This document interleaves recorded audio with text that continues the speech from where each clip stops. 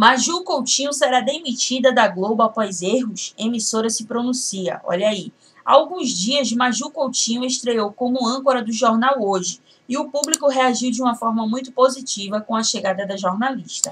Porém, seus primeiros dias como âncora de um telejornal tão respeitado não tem sido fácil.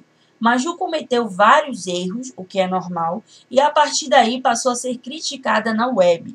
Chegaram a surgir rumores de que a Globo já estaria preocupada com a repercussão negativa em relação ao desempenho de Maju na TV, tá?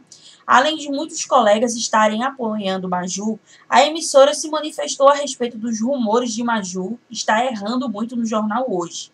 Em uma nota enviada à imprensa, a emissora informou que não há nenhum problema em relação à jornalista e que não houve nenhuma reunião para tratar desta questão, uma vez que ela está brilhando no comando do jornal hoje. Majuzinha, toda a sorte do mundo na sua carreira. Então tá aí, pessoal. Comentem o que, é que vocês acham e deixem o like de vocês.